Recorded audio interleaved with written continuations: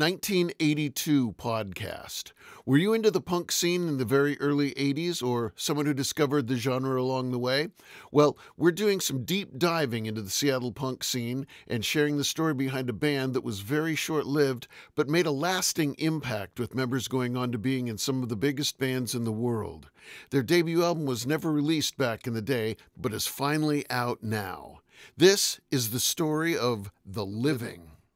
On today's episode of the Living 1982 podcast, we are joined by Andy Fortier, aka Andy Freeze of The Vains, The Thankless Dogs, and uh, Zip Dads, other, other esteemed bands. Um, and uh, so I never saw The Thankless Dogs. Did you guys? Did you guys play shows? No, we never played a show with the thankless dog. It was uh so Duff and I met Chris Utting and um and where did you meet Chris? I you know, he just fucking showed up out of nowhere. I have no idea. It was at Duff's mom's house and he was like, Well, I heard you guys do, you know, and Chris would, you know, he was older, and you know, by two or three years, whatever it was. And so somehow we got hooked, hooked up with him and then Ref, mike refuser had a had a uh, he was renting down off airport way right off the exit there. He had a you know apartment down there above some sort of chemical plant or something. I don't know what it was. And like i say i was probably 15 very early on duff was probably 14 and we went down there and we just started playing with Mike and we rehearsed for, you know, two, three months. We weren't any fucking good. You know, I just started playing drums maybe a year before that. And, but um, then we, we got kind of good and then the refusers got back together. So we never did a gig. So, and then that's what turned into the vains. Right, right. it was the you three guys playing with with Mike Refuser. Mike Refuser, for the record, uh, was you know an old uh, an old punk rocker. Uh, you know, from the sort of from the the the like a pre-punk punk rock. Yeah, he was he was a you know a, a you know Ramonesy kind of New York dog, you know, you know, 75, 76. Right, right, right. And and you know, maybe closest, you know, sort of a Lemmy character. You know, maybe not quite the the voice of a Joey Ramone or something like that. A little, yeah. you know, like like a, a you know a street level, like a punk rocker before there was punk rock. Oh yeah, yeah, yeah, yeah. yeah. I remember I saw him like a, two years ago or what it during the uh hell was I think it was the enemy reunion or show or something. Right, the bird, the bird 40 year anniversary. Yeah, yeah, yeah. I was down there and he didn't fucking recognize me because he was, you know, half in the bag. And, and I was like looking at I, I go Mike and I'm sitting here talking to him and and he was a great he was a good songwriter. He had some good hooks and stuff. I remember he had this one song which was if you see my KED, please won't you tell her I'm sorry? Basically fucked, you know. And I, and I said that to him, and he looked at me. He goes, "What the fuck? Who are you?" I go, "Mike, it's Andy Fortier. It's Andy Fr-. And he's like, "Oh my god," you know. And then a month later, he died or something like that. Yeah, yeah. yeah. Unfortunately, yeah, he did have some good songs, and and the Refusers, you know, definitely had some good some good periods throughout their uh, throughout their history. They were one of the you know first first Seattle punk bands that that we saw back in the the Bird days, which was you know maybe just a couple years before that when we were first getting our first bands together. The Refusers were already going, I believe. Right. Kind and, of on a, kind of more like a, you know almost like in like a uh, what the Eldon Hoke band. What the hell is the name of the band? Eldon Hoke was in. Uh, mentors. Mentors you know kind of like a two steps down from the mentors and some right right right another three piece you know band of of people that have been playing you know dirty hard rock tunes before before uh you know 1977 punk rock came came to be. Um and uh, you know the the reviews were you know not quite as outlandish as the uh, as the mentors, but No, no, no, much, you know a parallel existence. You know, and and so they're playing hard, sludgy, you know, punky music Yeah. and then next thing you know there's this thing called punk rock so so they had a uh you know the door was kicked open for you know the bands like that to uh to uh to go through Well, the- Yeah. the good thing about the good thing about disco is that's what turned us all into fucking punk rockers because right right because of course you had to hate disco back then no, had to no hate disco. question about that it's like Yeah. and Biggest, and uh, biggest disappointment in my life is when Blondie went and did disco. I was just like, oh fuck. oh my god you know Oh my like how god. dare they go is stoop stoop stoop you know how dare they use that uh Yeah. and then you know in hindsight it's like um i didn't really hate disco no, no, no, it wasn't that bad. No, I, I got I got caught listening to Heart of Glass, you know. It's like, oh, or you know what the one that i figured out not that long ago foghat slow ride oh yeah. you know and they were you know what they were right in whatever years that was 75 76 it's like disco sucks you know burn your disco records and if you listen to slow ride by foghat it's a disco song. Sorry sorry you hard rockers. It it's expertly played. It's fantastic and it's a great hard rock tune too but i mean it, it's it's it's you know 90% disco. And Yeah. you know the, the, they had the audacity to pull it off and and nobody none of the uh, disco sucks people were the wiser because it was still uh, Yeah. still Well, mainstream ra- mainstream radio then in, in in you know by 79 mainstream radio I just couldn't fucking listen to it anymore. It Oh, just- even earlier than that, probably by 78. I mean, there was still some cool hard rock bands and stuff, but they weren't on mainstream radio.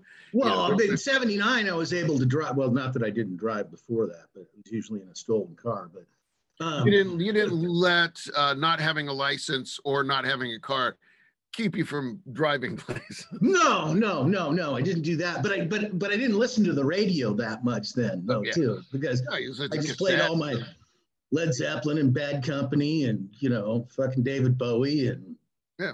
you know, on on cassettes. yeah, or even vinyl. We'd go over to Duff's house and we'd listen Oh, to I was just I thinking. remember we heard Motorhead. The first time we heard Motorhead, you know, uh what was that? Uh Ace of Spades came out and then uh yeah, it was, you know, and then Duff got that the album um uh, Motley that Motley Crue album. Merry go round and round, you know, whatever. oh yeah, first Motley Crue record was. Yeah, I was just like, wow. And Frank Feranna, aka Nick, uh, I think Nikki Sixx, he's from Seattle. Where he went to Roosevelt, huh? Yeah, Yeah, he's somebody I, I've never met. I don't don't know him, but of course I never met him. I, I think I met him when I was a kid because he hung out with some, but I knew, but I was like, you know, 10, 11 years old and he was. right, right, right. It was before you picked up the sticks. Yeah, yeah, he was. Anyway, you're practicing with Mike Refuser, getting this new band together, the Thankless Dogs, and this would have been this would have been 1979. It might have been 78. It could have, well, it could have been, Late but, 78 because we recorded the main single in 79, I believe. well, the but I, I, I'm I'm horrible with dates, you know. I- yeah, well, you know. I've, I've got a, I've got a few dates here I can throw at you to uh, okay. to maybe refresh your um, refresh your memory. The first the first Vains show was March 1980. 1980. Okay. And that was that was the the famed uh vains Which Yeah. you and I both played at. yeah yeah it was the first fastbacks show the first vains show And you were playing drums, were you? i was playing drums in the fastbacks at Yeah. So it would be 70, late 79 then that, that the Thankless Dogs got together then. right right and and you know not even knowing the thankless dogs i only know i mean because i knew mike refuser back then but i you know i can't remember when i met you guys you know it could have been i don't remember going to that party out by my parents house maybe i was there maybe i wasn't No, I don't think you were there. You weren't there at the Riviera party. I think Kim was there. Uh, yeah, I mean, it was all you know, Yeah. it was all where we where we grew up. you know, but I mean, I, I would have I would have met you guys like instantly after that for sure. The funny thing is, is I bought a house right on Sandpoint Way in 107th. I've sold it since. oh yeah, But, yeah, yeah. Yeah, just up the street. All the time I go by there, I go, oh, there's where Kurt and Al and Dittman lived, right down 103rd, right there. yeah, no doubt that was that was quite the uh, quite the corner of uh, of rock and roll There you go. for Yeah. its for its day.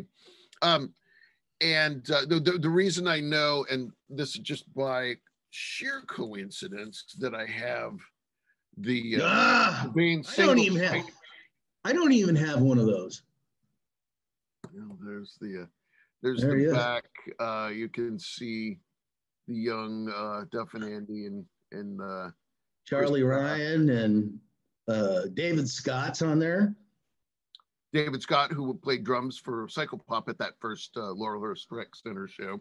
Right. Um, amongst Who was in Psychopop? I can't even remember. Was was uh um It was, Tom Price in Psychopop? uh, Tom Price was the bass player in Psychopop. So Oh. you guys are playing with Mike Refuser. You kind of thrown in this, you know, you and and and Chris Utting, Duff, all thrown in this kind of stew.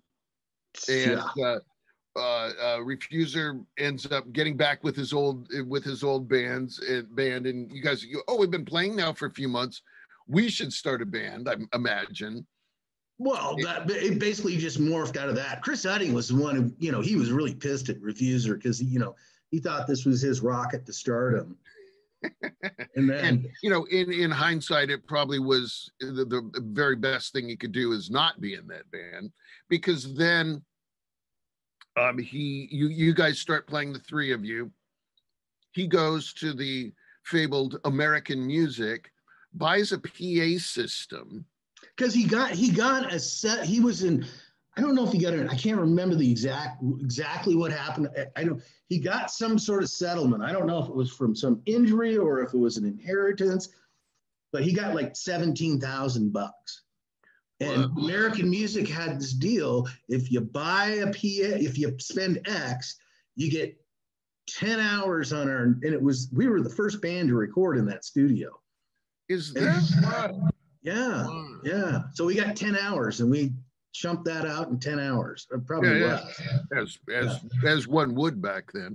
Okay, Oh, yeah. buy, he buys the sound system, gets the uh, uh, recording package as a bonus. You go to the studio and you you get a, a record a day of recording and a thousand forty five. So at that time, you and and Duff and Chris were his band at the time. So you recorded, you made the Vain single, and uh, the song um, "The Loser" Mhm. is clearly uh, clearly about Mike Refuser. Mike, refuser. Um, uh, uh, what was the uh, refuser? Your fucking user. You you probably knew it all the time. When when he asked for a second chance, you let us hanging on the line. Now that it's over, we're glad we got away from you. We didn't get pulled down with you and let a loser like you take over. Because because Mike Refuser wanted to get back into the into the vains and redo it because his you know his fucking drug addict people in the in the refusers and we just were like fuck you no way Aha. Okay. Well, that so that all that all that all that all adds up. I was like, I'm sure that refers to something, but I'm not sure what. that So was it so you guys start playing, and maybe he he could have very well have been at that Laurelhurst Rec show. Uh, no, I think he was just still because that Laura's Rec show was pretty, pretty uh, new into it. I think he was still trying to do the refuser. I, I mean, maybe he was there or not. I don't know. But sometime between that, you know, you because he he- like he'd be go, well, these guys are actually pretty cool. They're they got something going. I want to get back with those guys because my other band is not not getting anywhere. A Maybe little too much heroin, I think, in the old band. So you know, you know that's pretty common you know just a, a pretty common thing for ruining uh bands in general sure, yeah. Okay. um and uh, but sometime before you guys recorded this single he came back and said oh and, and you guys were like you know fuck you you loser we're not Yeah. gonna take this shit we're polished and we know shit. Yeah. We know it, I think is what it was actually. Oh no, we know shit. Oh, is that what it says? It's, know. it's very, very pronounced. Like, well, that's that's bold. You know, Yeah. we're polished. You guys, you know, you guys had it all. Um, Sure. And so, how many shows did the Vains do? I have no clue. Probably maybe 10, Uh, maybe. I don't I, I don't know. I mean, that was back when we would do shows. I mean, you know, you, you know, back in those days, the, the promoter was you. The, the venue person that rented it was you. You know, you had to put this shit on. Right, You know, right, right. You get you get somebody that you kind of trusted to collect the fucking two dollars at the at the door and hopefully doubt. gave you at least half. You know, so Yeah, yeah, for sure. You you know, get Chris Utting's PA system, yeah, well, yeah, and he's to collect a little money for, um, you know, bringing that down because you know he bought it for sure. I mean, you know, it must have cost some money for you to get a day of recording time and a thousand forty fives as a bonus for buying something. You know, it must Yeah. have cost some money. Um, but But it's funny because like like when because I remember you know the song "The Fake" that's on there. Oh, sure, sure. Okay, you slow that down, and that's the riff to "Welcome to the Jungle." Now, not but that Duff wrote that song, so it's all his his thing. Yeah, yeah. But I think that we, I think that we rehearsed or Duff came up with that song maybe two or three weeks before we went into the studio. He came up with that riff, and then we went through that. So, so not all that you know stuff was written, you know, because we were probably together for I'm gonna you know, and I lose track of time, Oh, for sure. probably five months of you know doing shows and hmm you know getting polished and we know shit. Yeah. You know. Yeah, that's when that's when it was clear that you weren't going to take any shit because you were Yeah. polished. And Yeah, were polished. Yeah. Yeah. okay so you know you do the the show it's uh uh um uh early 1980 february or march is your, your first show and throughout the you know 1980 you know like whatever i'm not sure because I, I I know that you guys did some other shows but i'm not really aware of you know what what other shows you guys did but of course you know just playing probably the gorilla room you Right. know we, we got busted in the gorilla room. yeah Yeah, we were, you know, because I, I was what 17 years old or whatever, and um, or whatever it was, 19, yeah, was 17, and so um, we we played in the fucking gorilla room, and I'm sitting there playing asteroids with a beer, drinking a beer, and all of a sudden the, the liquor control board comes in. He goes, "Well, can I see your ID?" And I go, "ID? What do you mean?" But and I come, and he goes, shows his badge, and I go, "Oh no, I got a minors musician for me." He goes, "He goes, come on, come outside." You know, Duff got busted, I got busted, and they took me down to the to the where they stored all the liquor down there off of you know south of the Kingdome down yeah there. yeah yeah yeah Yeah, they went in there and they're like showing, being real nice, showing me around, and I'm like, look, how the fuck do we get in here after hours? it's full of fucking booze, you know. why Um, did they they took you from the gorilla room down there No, I had to. Sh- I had to show Oh. up the day later. right right because that, was where you went that was where you went to get your minor musician permits right Oh well, I don't don't know that. I've never had one. So yeah yeah but uh, that's where you know that's where you would go like after a while i mean like but by the time everything started happening i mean you didn't need a minor musician permit to play at the gorilla room because nobody checked anyone's id Anyway, to play there or go there. So that was easy enough. Um uh, and then i guess it wasn't until later in 1981 that even i turned 21 i'm not sure what we did I, I, I don't remember filling out minor musician permits that much. I think the places like Rex and and stuff like that. I guess you just it just didn't matter. And you know we do shows at the UCT Hall or the Yeah, IOT Hall. yeah. The, Yeah, the IOF. That's hall where with cleavage cleavage did IOF. That was that. I think that was our last last. I think that was the last band I was in with Duff was cleavage. Okay, so so the vains um, at some point that sort of just what happened to what happened to the vains why did the vains Um, what stop? happened to Vains? Chris Utting. okay You You know, were just- done with him. okay you you were done with him this would have probably been later in 1980 Yeah, pro- probably not too long after we did the album or the Mhm. EP. and and so you joined cleavage which no, was the Zip Dads, I think, was zip, next. that's okay the zip dads which was That's when you know. That's when that's when Cop Potty Dittman came into the picture. Right, right. So, so the the Zip Dads were you on drums, Scott Dittman singer, Slats on guitar. Who was the bass player? Duff. Duff. Okay, so it's still you and Duff. Oh, you, me, Duff and I were up until uh, I let up. Thankless Dogs, the Vains, the Zip Dads, Cleavage, and then I went to the Deans, and that's when Duff started the. I believe it was the Living, Well, or he started fucking around, you know, playing with you guys and doing that kind of stuff. yeah, yeah, because it looks like he joined the Fastbacks somewhere late in 1980. Our first show is in December 1980 with Duff on drums. Right. And, and and not to say that you the people weren't in several bands at one time because nobody nobody really had anything else to do. Right, right, Right. right. It was very incestuous back then. or just you know like incestuous has such a negative sort of exclusivity sort of sound like you know you know what i mean like you know, oh the seattle scene is so incestuous Eh, but if you really dissect it it's just a bunch of bored kids without anything to do and you know you're hanging out at somebody's house and there's a practice room in the basement and i remember when duff joined the fastbacks it was just the three of us it was me kim and lulu. I played drums and you know we're just sitting around some afternoon you know just sitting around maybe listening to records not you know just wasting time.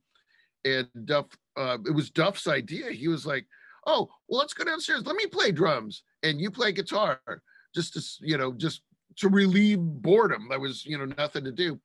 Um he's like he's like let me let me play drums in in the fastbacks just you know it was just going to be for one practice. He's like because you're way better guitar player than you are the drummer and i was like oh is that an insult towards my drumming? Of course it wasn't but and of course he was a better drummer than i was and so we went down there and you know played through a bunch of songs and was like well this is a lot better. You know there was no thought of getting a new drummer or anything like that but it was like oh well that makes sense. Um and who knew that duff played drums very good like i you know yeah. Never really heard him play. Where did he get a chance to practice? How did he learn? Where did he learn how to play drums? Probably on your drums, wherever they were. At his house, because we rehearsed at his house. And that's Oh his yeah, mom so your drum set was in in in his basement. Okay, so I, that I can't remember the house on 38th, uh, or 39th, or whatever it was, over by Duff's house. That was your first kind of fastbacky house, let's just call it that. And then there was the one on the 50th, or was it reverse? I can't remember. oh gosh, you know, uh, I think by the freeway there. I think maybe the 39th one, then 50th. Yeah, and that's what I that's what I thought it was.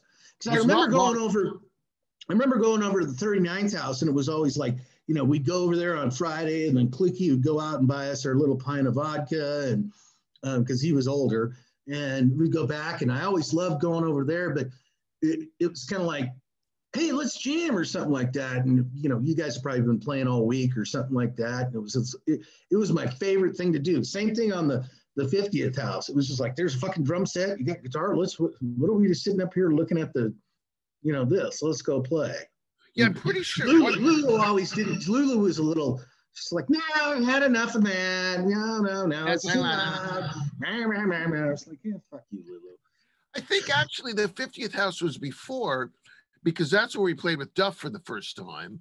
Because there is a couple photos from right around then of that basement. And then I think Lulu insists the 39th house was the last one because we were there. The 39th house is where we practiced in 1982. Um, so that was probably, you know, I think maybe it went. And then there was the one out in in Ballard on 85th and and third. You know, Oh, and- yeah. Yeah, yeah, yeah. those. That's the those one I always borrow Kluge's car. And Kluge would get so fucked up, he'd pass out. And I'd be like going, hey, Kluge, can I have borrow your car? Let me borrow it. He's like, oh, and I just, next thing Kluge wake up the next morning and say, where's your fucking car? Well, Andy has it. Oh yeah, he gave keys to Eddie. Well, maybe you did. anyway you slice it, he's got it. Yeah. Um, Sorry, I'm I'm I'm going all over the map here. So. Oh yeah, but I mean, it, it, it's it's you know it's all it's all all, all interesting to, to figure out how this all started. So then, um, so then cleavage was came from the remnants of the because this is kind of interesting. Cleavage came from the remnants of Zip Dads. No, but no, there was another uh, Johnny Vinyl band. Oh, Weenus, uh, or not, or uh, not Weenus. Uh, I don't. I don't really remember that. I, I, I, uh, because we had that house over on. Remember Cleveland? What was the name of that other house? The where where the Puds were from, and the you know the House of Ken, maybe. Maybe it was the House of Ken, the one that was the Madhouse. Madhouse, okay. The yeah. Madhouse, that was the name of it. So then, um, it was Johnny Vinyl. Um, um, uh, uh, um, um, drawing a blank. Garth and not they weren't in the band. And then um, one of the Boppo Boy guys, uh, shit, funny fucker, but he kind of fell. He, uh, I'll think of it in a minute. But anyway, so they rented this house, right?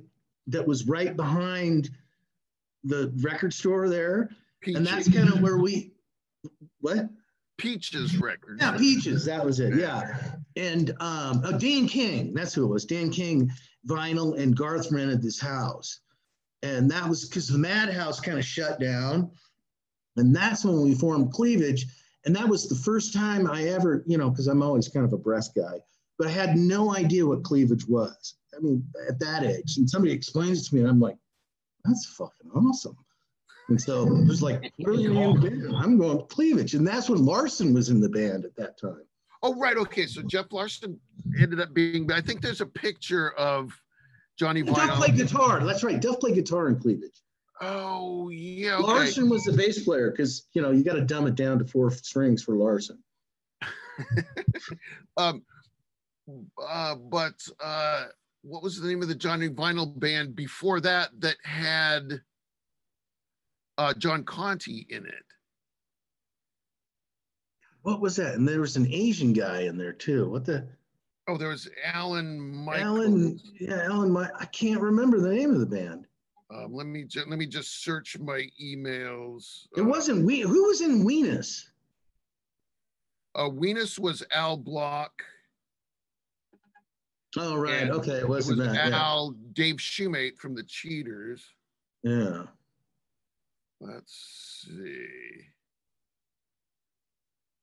Sure. For last the show I saw the Cheaters play out was at uh, Fifth and Aloha. Iceman. The missing link. Oh, missing link. Okay, so that was that was John Conti. Conte yeah. Uh, Johnny Vinyl on guitar. Was it Todd Fleischman on bass? No, because Todd didn't play bass until he joined the living. Yeah, because it's all of a sudden, all of a sudden, Todd Fleischman was playing bass. I go, I didn't even know you knew how to play bass. No, no, he he he uh, he was he was he signed on uh, before he'd even he'd even owned the bass or played. And that and uh, that's totally punk rock there.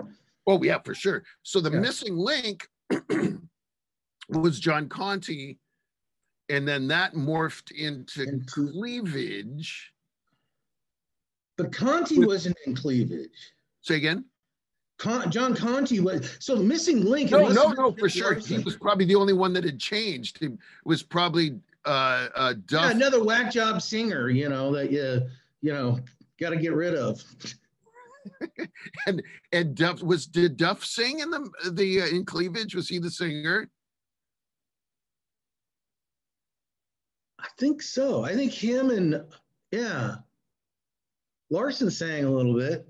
Yeah, yeah, that would make that would make sense. Yeah, I think Duff was a singer in cleavage. Yeah, yeah, yeah which which which strangely sort of makes sense that uh, like a, a, year before, a year and a half before, Duff replaces John Conte as being the guitar player singer in the band, a, a, a, fact that would repeat itself unsuccessfully, you know, about a year and a half later. So so you guys are you guys are doing that. I know that uh, that Cleavage did a few shows, and and of course there was the Cleveland, the uh, the house where Black Flag played a show in the living room. Uh, most. And then I remember when Stiv Bators, the Dead Boys, came over, and we had a big fucking blowout party there, and the, there must have been 300 people in this, you know, 1,200 square foot house. And yeah, yeah, yeah. That, I mean, those were of course some. We had a big target on on on Peach's record because the, the the the brick wall of. Uh, of peaches was right there and it was it was painted all white and uh, we had a couch that was running right along there and the door opened right to the right to that to that wall and we went down the stairs. And so i got i found some paint in the basement some old paint and i put a big bullseye but i was too short so it wasn't really round it was kind of like half round and then like this. And we'd sit there and there and we drink our beer and then it was like bullseye you must have four feet of glass on the side of that thing yeah, Cleveland, Cleveland was a very notable. Uh, the house was more notable than the band um, in oh, history. Absolutely, yeah. I remember the cop. The cop showed up when the when the uh, that DOA show um, that was there, and uh, the, the cop showed up, and there must have been you know two inches of beer, slime, guts, and whatever on the cops walked in there, and I was the only one that kind of stayed and went through there, and they're like going Jesus Christ, this looks like a fucking war zone in here. And I'm like, eh, well, well, well. You know, me as a landlord now, I'm like, yeah, you should have been here when DOA was playing in the living. No fucking, no fucking punk rockers are in my house. yeah, I wouldn't allow that. I just would allow a war zone. I mean, yeah. think, of, think of Black Flag. Remember that show in your living room? No, Black Flag, not DOA. You're right. Yeah, yeah, yeah, and, yeah.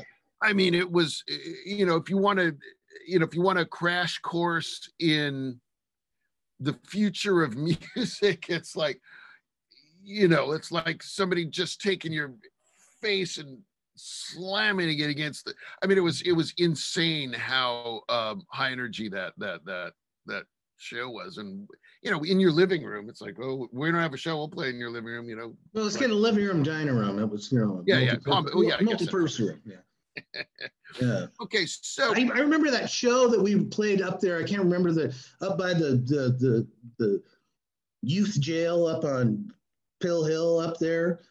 It, it was Black Flag. Ron Reyes was uh, singing and dipping, and I can't remember. What, It must. It might have been the Vains that opened for him. Oh and, right, at uh, Saint, uh, not St. Joseph's. Uh, the whatever that place is up on IOF or one of those. One of those. Whatever you rent it out and do your own thing and um, I remember Dittman took a quarter and fucking threw it at Ron Reyes and hit him right here in the nose, broke him, and all hell broke loose. And you know, and that, that's when I first bought my Vistal. I had my Vistalite drum set at that point, and I'm just like going, oh, shit. and it was up on stage on the side. I fucking pulled it all out to the fire escape because I thought I, I thought they were gonna fucking trash the place, and that was my baby. I still have that set. That was my baby, you know. Yeah, yeah, yeah, for sure. Um, yeah gosh, I, I don't think I, I must have not been at that show because I don't oh, remember. Well, that was fucking notorious. Right, that's the one that the Subhumans were supposed to play too, but they didn't. Yeah, maybe. yeah, yeah. There's a you see the poster on on the internet on on Facebook occasionally. Yeah, yeah, yeah. Great, uh, great poster. I must have missed that one for some reason, which is Can't too imagine bad. But uh, so anyway, you have your your cleavage. You have you know the, all, all, these all these bands that are you know where everybody's just looking for something to stick right you know something that can that can make it more than four months you know and everybody was was all these bands were playing shows whether they be hall shows or the gorilla room or you know whatever there's you know probably mainly few. hall shows i mean you know it, it, most of the shit i played was hall shows yeah yeah yeah yeah because i mean there was no there wasn't a, a, a bar to play at and and and it was not interesting like you know the people that were older at that point in 1980 81 in seattle were not really interested in hearing that kind of music no they were all playing played. at astor park and right you know, they, they wanted to hear parkers and a well uh, well manicured uh, uh, band playing you know popular uh, rock of the 80s music which Yeah. you know i don't blame them but at the same time it's like I do. There was just not much. I mean other than rex was always a possibility and we it seems like we played there you know often enough. But that was about the only actual bar that would eh, that catered to anything other than other than than uh, top 40 and and rock of the 80s um and then so at some point this all sort of falls apart um and you once again you and duff don't have any any real band to be in so you joined my brother al scott dittman who was the greatest and He uh, was in the, he was in the Zip Dads. Yeah, yeah. He came out of Yeah, that. yeah. and he was also in the cheaters for sure the, uh, Oh yeah, yeah, yeah. But I'm talking about with me. So Right, right, right, right. I'm, I'm just Yeah. thinking of of his of his history, and uh, started the uh, the deans. yes, Um, which, Sam Lillard. yeah, yeah, yeah, and and that that lineup um, lasted, you know, until You know, I- sometime in. mm, um, I think we we sort of figured out. I was talking to my brother Al because there's a, a tape of New Year's Eve going into 1982 Right, right, yeah. the Deans. Um, And that was remember that goofy fucker. I think his name was Sean. He was a piano player. oh, of course, yeah, yeah, Yeah, yeah, yeah. He was in there for a little bit too. okay, yeah. And Al said, Al told me the other day that because he moved to New York sometime fairly early in 1982. Mm-hmm. Um, but he said at one point the Deans uh, played with John Conti as a singer, like not a show or anything, but like at least practiced with him, you know, maybe once, and maybe also practiced with uh, um, Leif Cole.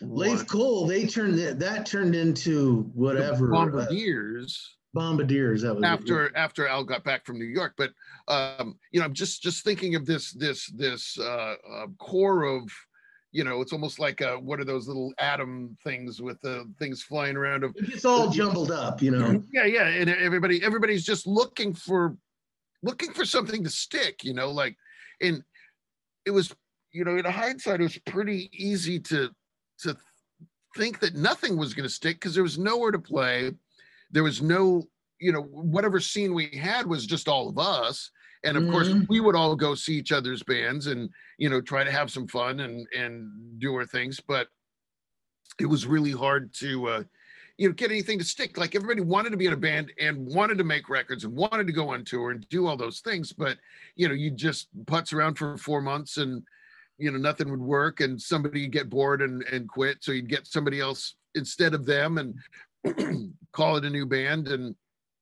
and keep going. So at some point in later 1981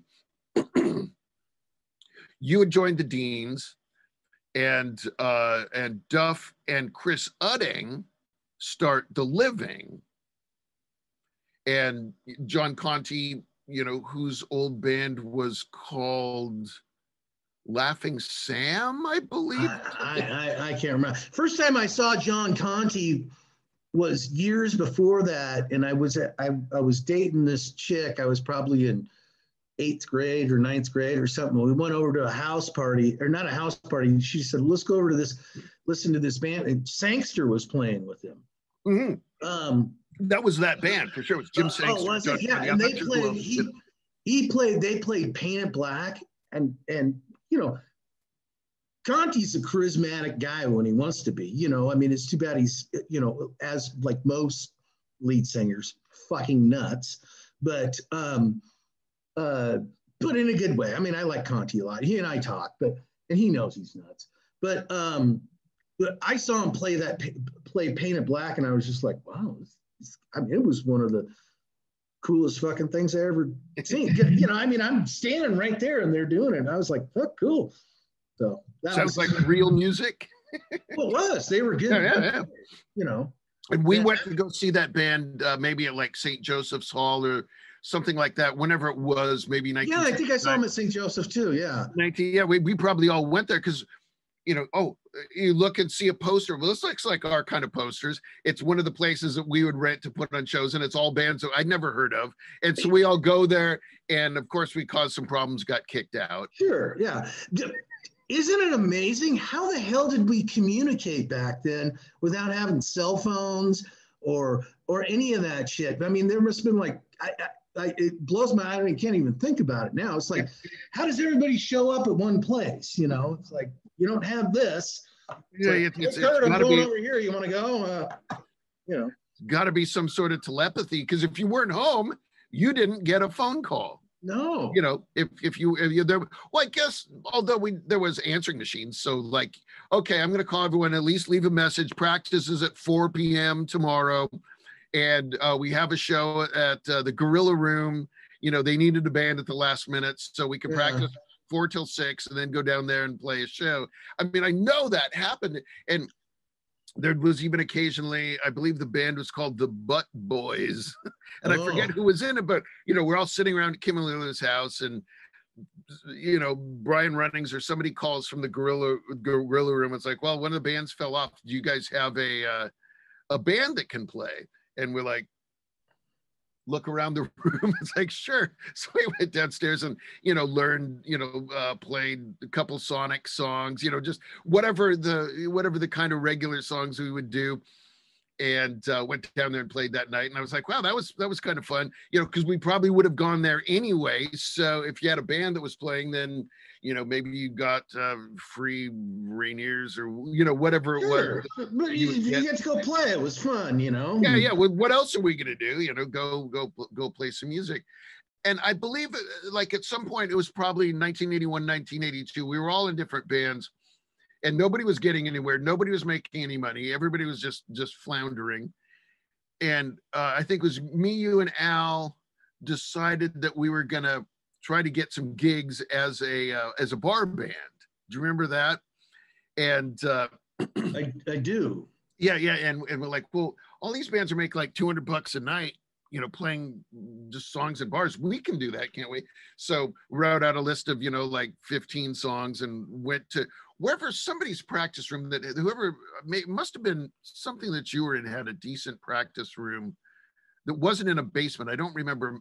Um, or I had I had a place over in Wallingford, and then no, actually before Wallingford, I think before I can't- we because I was in a band called the Gestures, right? And that was that was you know that was my first band that actually made money. I mean, we'd go, but that's because I was over 21 and we play at bars and we do, you know, we did all original stuff. And we actually almost got because Muscle Shoals was going to turn into a record company and they were going to sign us. And this is, you know, Dave Kincaid and, you know, all mm-hmm. that kind of, you know, during that stuff, that, that time of year. But I had a rehearsal studio kind of, it was over in Wallingford, kind of behind Gasworks there. Was that where it was at?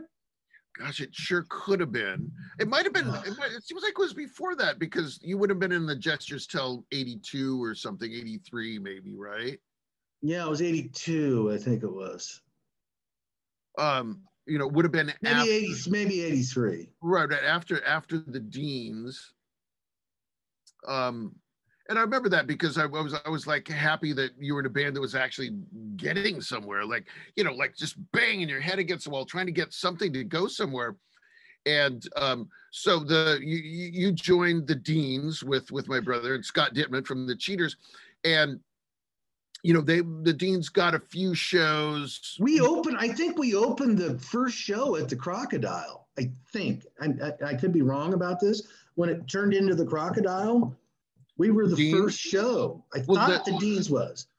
well that, that would have been it would have been called the athens it wasn't the crocodile yet but it was that same space and that was you know that was early When did it turn into the Crocodile? oh in you know early 90s Oh, Jesus. Okay, never mind. Yeah, So- maybe it was Athens then. It was yeah the yeah it was definitely the athens it was the same same spot yeah, yeah, yeah, yeah, yeah. and it was jim anderson doing sound who was you know the, the sound man for the enemy you know so it was all it was all you know, in the the sort of started by the crowd of people that were you know a few years older than even we were at the time and were actually you know actually really getting things done. Um so so you joined the deans and duff joined or started the living with chris Utting which is interesting because those guys were always a little bit at uh, at loggerheads with each other but then at the same time in, in the the and, and they still are and the deans were uh, Al Bloch and Scott Dittman, who were also at loggerheads in the the the uh, in the Cheaters. They were the ones that broke the band, uh, the, ended up breaking up the band in a uh, in a fist fight on stage. You know, a throw throwdown, not just a joke fight, but a uh, a, a who was doing the throwdown? Was was it uh, um, Dittman and who else? And Al Bloch. Oh shit! They got into a oh that was you know Who, that was uh, i can't imagine all... al won well uh, there, there couldn't have been a clear winner that would have been a, a halloween 1979 no um, more, and more a, a wrestling match probably but yeah it was well it, it's it started on stage we had a makeshift wooden stage at, a, at our halloween show and it ended up rolling out onto the sidewalk of the uh, of the uh, UCT hall. Fucking Dittman. and you know, there again, then a year later, they're in a band together. And uh, and and and uh, you know, so a year later, then then Duff and Chris are in a band together, The uh, Living, with John Conti, who was, you know, fresh out of the missing link pretty much. It's like okay let's get a band together. And i, I remember they didn't have a a, a, a, a for sure bass player at the time because um, Kim Warnick from the Fastbacks said that she played their first show or two in the living, and uh, and then at, at some point, uh, uh, Todd Fleischman steps up to the plate and you know learns the base in two weeks, and yeah, yeah, yeah. Sudden, yeah. And there going. And uh, and and the, uh, the the core of the living had started, which would have been also you know mid 1981 and uh, um, so you know they doing odd shows here and there most probably mostly hall shows maybe some maybe a little bit of rex for sure. I think i have a tape of the living at rex. Yeah um, yeah they didn't play many shows. I remember i used to go because flashman lived up in laurelhurst on what, what 48th 49th or whatever it was and that's where they rehearsed was down there in the basement Right. That's probably yeah. how Flashman got into the band because he had a fucking rehearsal place, you know. Right, right, and and we, you know, I remember there being parties down in Todd's mom's basement that oh, were yeah. that were just you know legendary. Yeah. And yeah. so, and you know, and Todd was cool, and he loved music for sure, and you know, he was always around, but he'd never picked up an instrument. So he, so he joins, and they they start doing shows, and then you know, I'm not being in the band. I don't know exactly what happened, but uh, uh, uh, uh, apparently Duff and Chris, you know, couldn't quite get along. Really? They put, they put an ad in the Rocket for a drummer because Duff is like, I'm, you know, I'm. Once again, he steps up to the plate as he had in uh, the difference between uh, the uh, missing link going into cleavage, you know, uh, uh, or, or, no, wait, no, I'm, I'm, getting ahead of myself there. Um, uh, like he, he he wants to play guitar, so they get Greg Gilmore. That all happens. Um, Greg Gilmore, by the way, just blew me away. I mean, first time I saw him play, I was like, when they played fucking Ballroom Blitz, I was just like, was Conte in it? No. I was just like, fuck, this guy's fucking amazing. You yeah, know? yeah, no. He, uh, uh, Greg Gilmore brought a, you know, he brought this brought it up to here. Right right. Something that something that the seattle you know the, the that our group of people something that our group of people didn't really have back then was you know a, a, a drummer who was you know had the chops and was able to play the fast music you know just tirelessly and uh, you know, a, not afraid to be a drummer show off too. You know what I mean? Like, I mean, like, first time I saw Greg Gil- Gilmore play, I was just like, well, maybe I should just fucking quit. you know, I, just like, holy shit, you know. nah. Of course, I see Dave. I see Dave Grohl today playing. I was just watching a show. What, uh, what was that band where uh, after after Nirvana? Um, Foo Fighters. uh, what? Not the Foo Fighters. The one before that. In between. Um, Lanegan played with them for a little while. Oh, Uh, Queens of the Stone Age. Queens of the Stone Age. So he played with Queens of the Stone Age Mhm. for a while. And I was just watching a YouTube thing uh, on their big hit, whatever the hell it was. But I was just like going, Jesus Christ, this guy's fucking amazing. There's no way I could, I could, if I would have practiced drums from then to today, there's no way I could play that shit. It's just like fucking mind boggling. You know, anyway, I'm digressing. Oh no, it's, it's Yeah. absolutely killer. And uh, Yeah. un- My big thing was is I was a big tempo drummer and I could play and I could fit in the pocket. But these fills these guys are doing these days and all that stuff, it's like drum solo. I'm not your drum solo guy. It's like bap, bap, bum, bum, bum. you know, sound check. That's it. drum fill, no solo. I can do fill, but no solo. Anyway, shit, we're Um, digressing again. And so, um, you know, this would be sometime in early 1982 that uh, that uh, that Greg joins the Living, and you know, it sort of took them to to another place. You know, it was like, wow, well, this is, um, you know, this is really something else. Um, and they, you know, definitely burned very bright for a few months. Or And maybe even a little longer than that, but yeah. well, not not very long. There, the last living show was uh, July thirtieth, nineteen eighty-two. Right, but I but, but I'm talking about before because I I would see him, you know, I'd go over to Flashman's house, watch him play, and do all that stuff. So Oh yeah, yeah, but for sure, like w- once you know, like you're talking about on the scene. They, you know, it it sort of just just took them to the this next level. And sometime in you know early to mid 1982, they went and recorded those you know seven songs that are to be on the the record. Um, and and you know at that point it seemed like wow here's a here's a band that you know actually has you know maybe has what it takes to to get out of you know everybody just wanted to You, get the boot off their neck.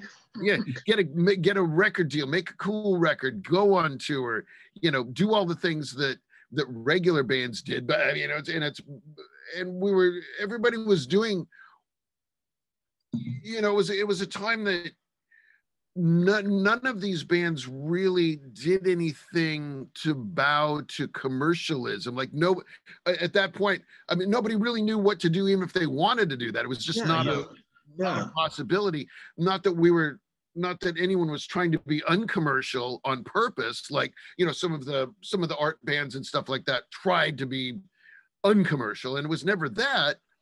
You know, we're just doing what we liked, and you know, we're sitting around wondering why. You know, 20 people go to all our shows and stuff. And, Well, it's funny because when we first, I, I remember this in you know eighth grade or eighth grade. It was eighth grade. You know, and Duff and I were you know thick as thieves back then, and still are. But um, you know, we, you know, I'm too small. I was too small to be a jock. Duff was too lankly and you know a little gangly to be a to be a jock. And it was like, well, how are we gonna get chicks? And it's like, well, let's you know maybe we'll play music and get chicks. And it's funny because I don't want to say we got into it to get chicks, but we did. But once we got into it, it became our passion. You know, it was a big passion thing. So all the chick thing went out the window. So it was never really a commercial thing for us. Right, you know? right. But you know, like, and when you first start in 1979, you know, whatever you whatever you guys started playing and started playing together and stuff like that, it, it takes on a, a a thing of its own. But my theory is by about 1982, um, you know, everybody had been doing that. They've been kicking at the door, you know, and seeing some other bands, not Seattle bands, but other bands, you know, that started out with the same sort of humble beginnings and and people were getting record deals and people are getting places and you know, getting the, you know, getting to make a cool record that sounded or, cool. or being being able to afford to buy something that sounds good because you know I mean that you know I mean I remember Duff we called it the fuck but uh, foghorn. the foghorn yeah the old foghorn. I don't even know if he still has that but it, it was that old kind of S I don't even know if it was Gibson but it was an SG style bass yeah yeah Gibson SG bass an EBO yeah yeah definitely yeah. foghorn. Yeah whatever that and you know, whatever blown out amp that he was playing through. And yeah, yeah, yeah. the old foghorn. Bring bring the fog. Yeah, yeah. Oh, is there going to be a bass amp there? No, I guess we better bring the foghorn. yeah. Can't we just go direct? but the you know like my, my theory is like by, by around around that time you know people were just like well i mean not not like in a sellout way but people were just in it like well gosh you know we've been playing music now for you know three years you know. Five years whatever yeah. Yeah yeah whatever it was um you know let's let's let's get our shit together and try to try to get try to do something that you know that that is not just you know going to attract our same 12 friends from you know a month some ago. that's commercially viable but not a sell. I, I understand what you're saying. Yeah yeah yeah. Um and you know the vains or uh, not the vains of the living was was kind of an odd one in that it was sort of a step in a different direction but it you know it, it had the you know it had definitely had the power of of you know of music to come right? Like it was wasn't metal but it was not anti-metal no, no, no, no, it wasn't. But it wasn't, and it wasn't just purely punk rock, but it was punk rock. You know? Yeah, yeah, yeah, exactly. It was, it was, you know, this ten minute to... warning came out of that whole kind of. Right, right, and it, ten minute warning in a lot of ways to me were a little bit more anti-commercial. Um, you know, like making music that was, you know, definitely a full foot in art rock and experimental music um, rather than rather than you know like the living was just kick-ass rock right and right. and the deans your band at the time was you know definitely had a one foot in 60s you know garage oh, it, was, it was, made more commercial but the, even the band after that when i went into the gestures later i mean we were playing shows and making money and you know, I, and you know, we wrote a lot of our own songs, and you can tell it was very '80s then. But you know, I was still playing fucking Tom Petty songs, and you know, because you're playing bars and people want to hear yeah, yeah. yeah. Right, right, and and, uh, it, but just, the living wasn't doing any of that. No, no, they, but they, I don't know that they may have played a uh, once. Once Greg joined, they probably did a few couple bar shows, but well, most of that was art galleries, art galleries and hall shows and and and things like that. Yeah. And, you know, definitely 1982 in Seattle was a year of, you know, people just throwing things at the, the wall and seeing what would stick. And nothing and, stuck. What, yeah. see, see what we can do that doesn't suck. Yeah, well, and, or stick or whatever. And then at some point, you know, it must have been August 1982, they just sort of stopped and Greg and uh, Duff, you know, one by one started started the 10 minute warning and right. and the living were were over. Yeah. Yeah, that was the that you know because of my whole music career up to that point until he until he started the living and I went into the deans. Um, it, uh, you know, Duff and I had always been in bands together. I mean, it was Duff and I, Duff and I. Duff oh yeah, and Duff and Andy for sure. Always. Yeah, Duff and Andy, and then and then I remember, I think I went into the deans, and it was kind of a weird dichotomy because that, that's when Duff went into, but you know, living. I think soon after that, and we were kind of a little bit lost without each other. Right, right. I mean, you know, if you have your if you have your team there, then you know, you, you yeah. know things can't be going that wrong, that far wrong, because you you know, it's like one of you would keep an eye on, you know, if, if somebody had an idea, here's a song. It's like, hey, you know what? That song sucks. Let's not yeah. do it. It was I remember, the time, I remember the time when he left Seattle, when he left Seattle and went to LA, Duff, I'm talking about. And we were going down 35th driving. He's going, I'm out of here. I'm leaving. I'm going to, I'm going to go to LA. you should come with me. And I'm like, look, I'm like, going, what the fuck? What are you talking about? I'm not going to fucking LA. I got a job, you know. it, but it did, it did, it broke my heart. I mean, it, it, I mean, not, not broke my heart, but it was just like, right, right. It was, it was, it was, it was quite a thing. Like, Wait a minute. Yeah. And, it's bad enough you're playing in another band, but now you're going to fucking leave Seattle. What the hell's wrong with you? Uh, and you know, we don't know. I, I don't know if I'm going to get to do one of these uh, Zoom calls with Duff. That would be pretty good though. But what made him? What was the last straw? He was playing a 10 minute warning with Greg Gilmore, who went. Oh, I know him. what the last straw is, but I don't really want to say it.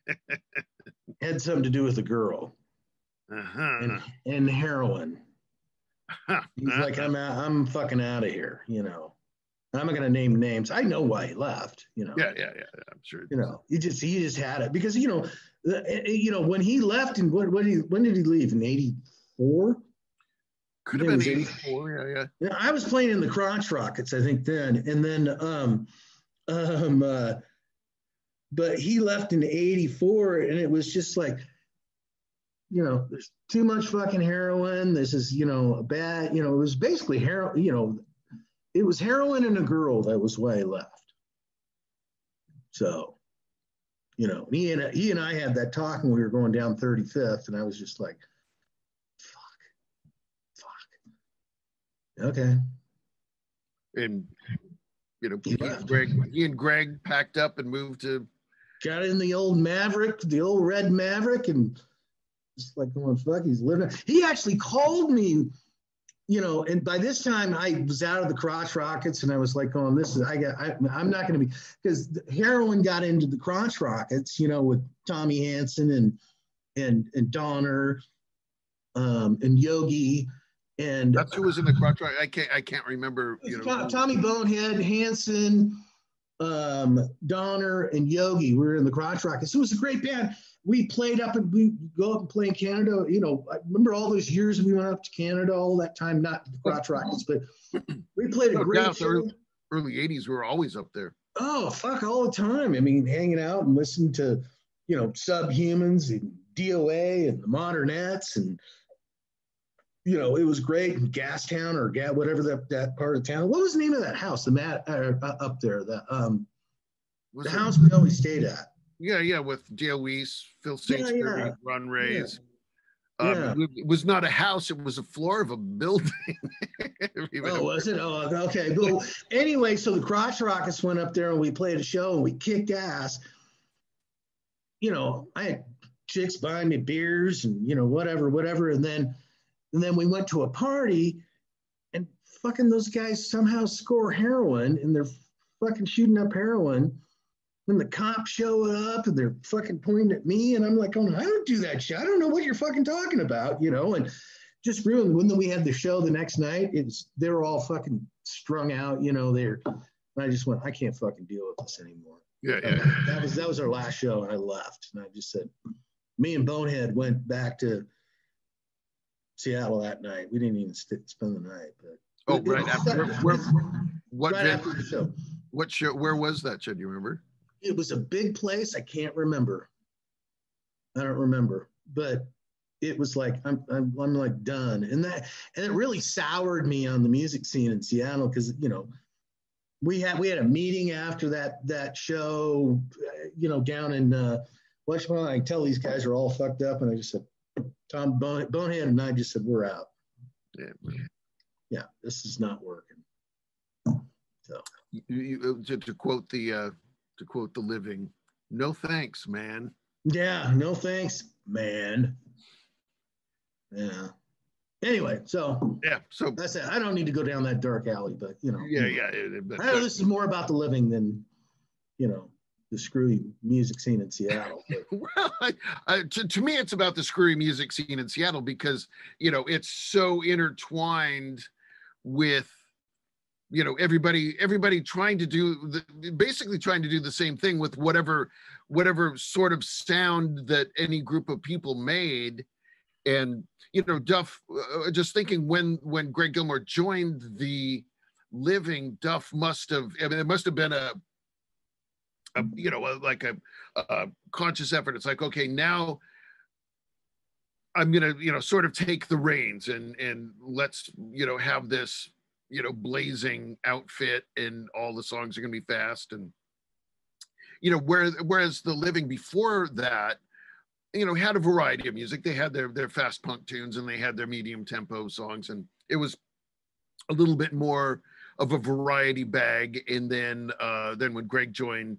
and and Chris wasn't in it, it would appear to me that that Duff took the reins and okay, here's what we're gonna we're gonna focus, we're gonna practice, we're gonna make this you know razor sharp band, which of course they were. Yeah. Uh, and you know, it just just the thought of how everything was in those years, nothing lasted.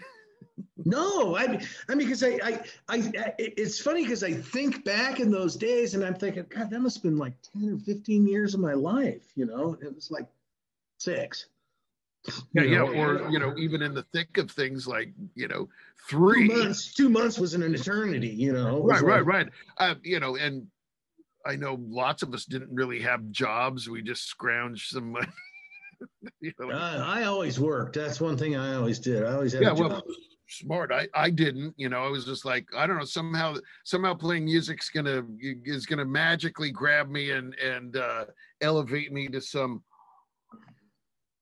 uh, bigger. Uh, I guess I probably did have a job now that I think about it. Oh, you had to have some job.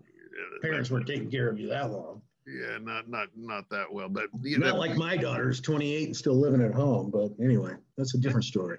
You know, and it, it is. Yeah. but, but you know, I lived at my parents for a long time, and they were great. They were really really nice, and you know, I know they didn't like our music, but they allowed it way longer than they should have to appear in their basement.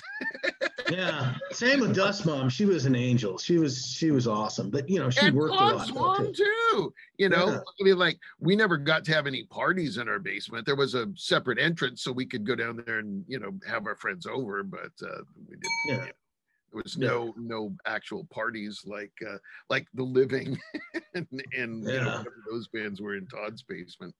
Yeah. Um, and and uh, so everything just sort of falls apart. Everybody, you know, kicks around for a while. The Fartz, ten minute warning, and then, you know, must have been, you know, those bands. You know, there there probably was a fair amount of drug abuse in that band as well. As their 10 minute warning. Yeah, probably at some point. Yeah. it, you know just seems like 1982 was kind of the also the pivotal year that people started to do dope a lot Yeah, I got that. That's when I kind of left that scene. Me, you know, it was kind of like after that, you know, you, know, he's did the 10 minute warning. That's when I went to the gestures and I was in more of a the club scene then. So I, I right didn't, right that's not this didn't have, you know, so I can't really recall on all that was going on there. But you know, that's when the Bopple Boys and you know all those guys were doing, you know, MDMA and or whatever the fuck it was and heroin and got way too right, drunk. right. It was it was it was definitely right around that time and i don't know you know you can't really find one person to blame for that but it definitely it definitely took its toll on Oh, look you at know, the Seattle. The Seattle underground scene at that point, and so then it's you know it sort of it sort of split off into bands that were you know trying to get away from that and bands that fully embraced that. yeah, yeah. And that, that's basically why Duff left. So, Yeah, yeah, yeah, yeah. yeah. So, You know, then ended up right in the middle of it later. yep. Yep. World champion drinker. Half a gallon and a fifth a day. I'm like, what the fuck? Holy shit. Not the, uh, you know, not the greatest, but you know, Yeah. You know, glad he's and still then- around. Yeah. Oh no, I am too. You know, uh, you know, I I went through all that with him, but anyway. Um, Yeah, I guess that's that's for another podcast. that's for another podcast. I think they made a movie out of it or something. You know, yeah, something like that. yeah. something like that. It's but, like what are those um, things called with paper in them? Uh, Uh, I don't know. b- book? book. book, book, book, book, I think. yeah, with letters on paper. That's all. They're all like stacked oh. together. Well, you, you, don't do that. You just use your, you know, iPad and you read it. Well, that, that's why I couldn't remember what those things were called. Because I, I, I, I, don't, you know, I, I don't even do that. I, I, always get a, a, a. I think it's something on tape, book on tape, where the book on tape. Books yeah, that's where tape. they read it to you, so you don't have to be bothered with what yeah. are those little what are those little like A's called? Letters. Yeah, letters. Yeah, alphabet. Uh, alphabet. Yeah, yeah, letters. Yeah, yeah, yeah. yeah. yeah. yeah. I don't. But you know, I mean, like Todd Todd Flashman. I mean, he's uh, or Fleischman. I call him Flashman all the time. Um, you know, he's doing good. He didn't get caught up in that shit. Yeah, I spoke to him the other day. Todd, yeah, fantastic. No, he's fantastic. He's always a good guy, and um, Conti, you know, little still weird, but he's a lead singer. He can get, he's got an excuse. So he's got an overriding excuse to be as weird as he can be. I don't well, know what Gilmore's doing. Uh, I spoke to him uh, a couple days ago, and oh. uh, he's just he's on it. He's like sharp, and you know, it's like yeah, let's rock. It's like yeah, you know, I mean, because he was always the killer drummer. Like everybody wanted to get best. him in their band and yeah. uh, and uh, um, you know it just it just you know didn't work out for him to be in everybody's band but um is he still playing music i mean is he in a band now or is he I what, think so i don't think he's you know got any you know rock band uh, uh going at the moment yeah i mean now is not the time to you know initiate a new rock band i suppose but now is the time to start making some plans to do something if you're you know that yeah. way. Well, I still got I bought I still got my my my Vistalite set. Like it's out in the garage, but the garage is so fucking full of shit. But but, but I bought a Pintech set, electronic set. So yeah, yeah, yeah you know, you put the headphones on and you can play all the fastback songs you want on that thing. You, know? you can instantly you're in the Coliseum playing in uh, Led Zeppelin. There you go. You you press the Led Zeppelin sound on the electronics drum set, but yeah, yeah, it yeah. doesn't blow everybody out in the house. So right, right. It's like you can actually do it pretty much at any any time, and all all anybody would hear is a little Ricky Ticky Ticky in the uh, yeah, slappity slappity slappity. Yeah.